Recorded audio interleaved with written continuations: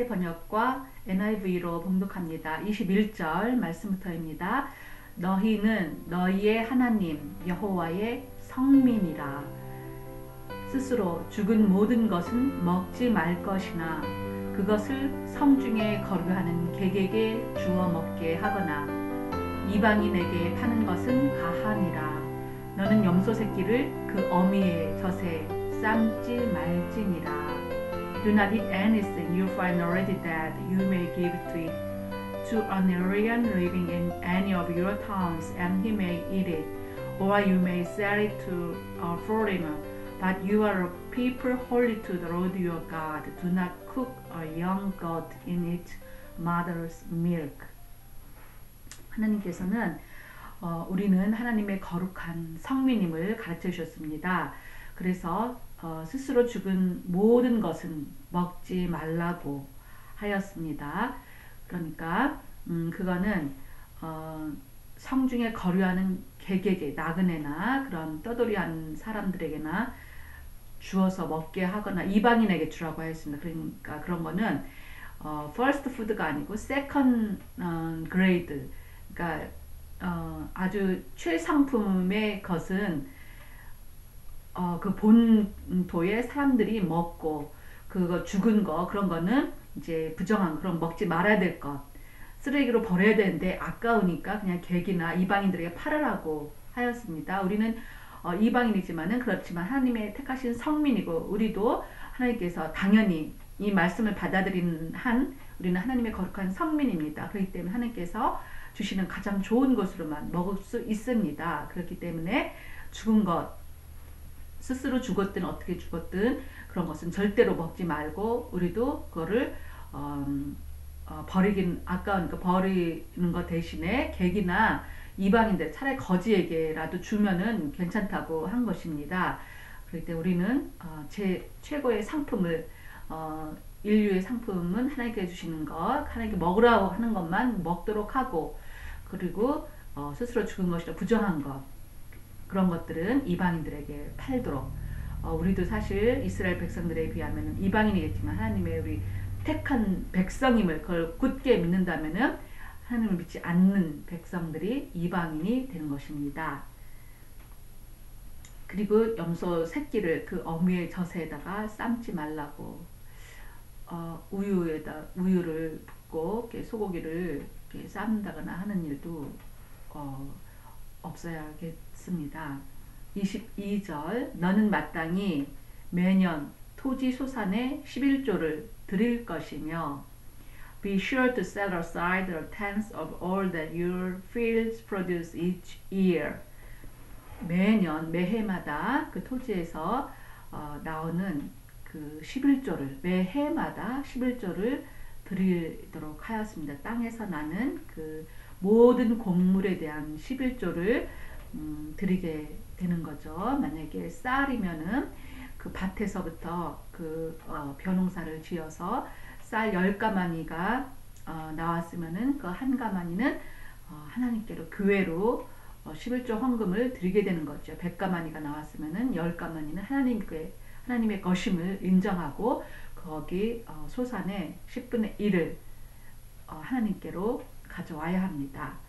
23절 내 하나님 여호와 곧 여호와께서 그의 이름을 두시려고 택하신 곳에서 내 곡식과 포도주와 기름의 11조를 먹으며 또 내 소와 양의 처음 난 것을 먹고 내 하나님 여호와 경외하기를 항상 배울 것이니라.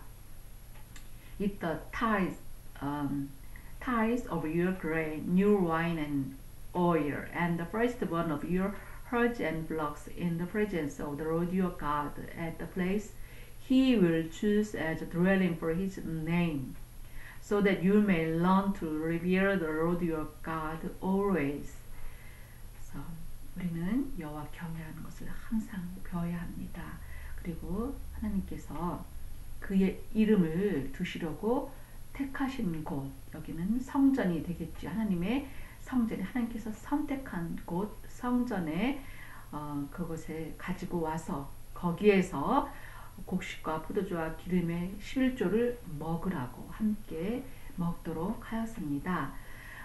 또 어, 소와 처, 양의 처음 난 것을 먹고 또 하나님께 감사하는 것, 경유하는 것을 어, 거기 함께 다 함께 하나님을 경유하면서 그것을 먹고 즐기라고 하나님께서 음, 이렇게 어, 그 먹는 것 어떻게 먹는 것 장소까지 어, 세밀하게 정말 다 자세하게 가르쳐 주셨습니다.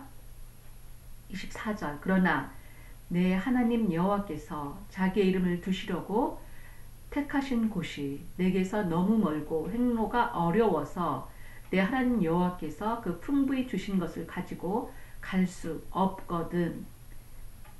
But if that place is too distant and you have been blessed by the Lord your God and cannot carry your tithe, because the place where the Lord will choose to put his name is so far away.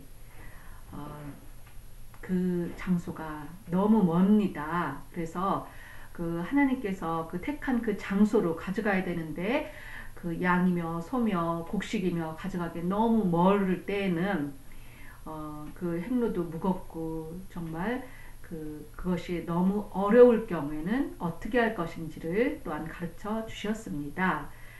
25절 그것을 돈으로 바꾸어 그 돈을 쌓아 가지고 내 하나님 여호와께서 택하신 곳으로 가서 Then exchange your tithe for silver and take the silver is your and go to the place the Lord your God will choose.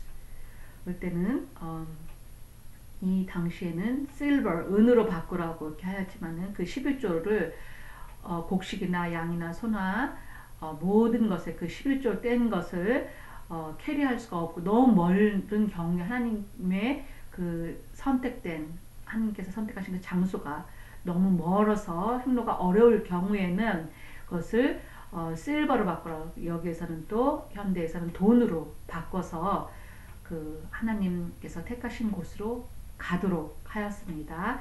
일단은 그것을 돈으로 바꾸는 그런 무역이 어, 시작이 되었습니다. 그래서 이 거래가 어, 하나님께서 허락하셨습니다. 거래를 하나님께서 허락하신 것이기 때문에 이렇게 거래를 음, 해도 되는 것입니다. 우선 11조를 돈으로 바꾸는 그런 어, 음, 비즈니스가 시작이 되었습니다. 그 어, 다음부터 또 26절 말씀부터 또 다음에 봉독합니다.